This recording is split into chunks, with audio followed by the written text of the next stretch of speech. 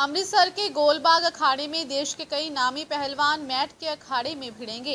अमृतसर के स्थानीय गोलबाग में एक प्रेस वार्ता का आयोजन किया गया, जिसमें 9 अक्टूबर को होने वाले सरदार करतार सिंह बत्रा की याद में दूसरा कुश्ती टूर्नामेंट के बारे में विचार विमर्श किया गया। करतार सिंह बत्रा मेमोरियल क्लब के सरप्रस्त परमजीत सिंह बत्रा ने अपने सहयोगियों के साथ बैठकर तैयारियों को अंतिम रूप दिया।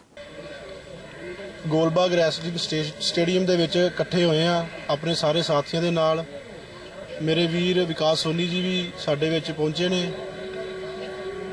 ਅਸੀਂ 9 ਅਕਤੂਬਰ ਨੂੰ ਇੰਟਰਨੈਸ਼ਨਲ ਰੈਸਲਿੰਗ ਕੰਪੀਟੀਸ਼ਨ ਕਰਵਾਉਣ ਜਾ ਰਹੇ ਹਾਂ, ਆਪਣੇ ਫਾਦਰ ਸਾਹਿਬ ਦੀ ਯਾਦ ਦੇ ਵਿੱਚ। ਇਹ ਦੂਸਰਾ ਇੰਟਰਨੈਸ਼ਨਲ ਰੈਸਲਿੰਗ ਕੰਪੀਟੀਸ਼ਨ ਅਸੀਂ ਕਰਾਉਣ ਜਾ ਰਹੇ ਹਾਂ, ਜਿਹਦੇ ਵਿੱਚ ਇੰਟਰਨੈਸ਼ਨਲ ਲੈਵਲ ਦੇ ਰੈਸਲਰ ਇੱਥੇ ਭਾਗ ਲੈ ਰਹੇ ਨੇ। ਔਰ ਸਾਡਾ ਮੇਨ ਮੋਟਿਵ ਇਹ ਹੈਗਾ ਕਿ ਆਪਣੇ ਅੰਮ੍ਰਿਤਸਰ ਦੇ ਵਿੱਚ ਅਸੀਂ ਇਹੋ ਜਿਹੇ ਪਹਿਲਵਾਨ ਤਿਆਰ ਕਰੀਏ ਜੋ ਕਿ ਸਾਡੇ ਸ਼ਹਿਰ ਦਾ ਨਾਮ ਸਾਡੇ ਸੂਬੇ ਦਾ ਨਾਮ ਤੇ ਸਾਡੇ ਦੇਸ਼ ਦਾ ਨਾਮ ਉੱਚਾ ਕਰੇ अमृतसर से जाट टीवी न्यूज के लिए धर्मवीर गिल की रिपोर्ट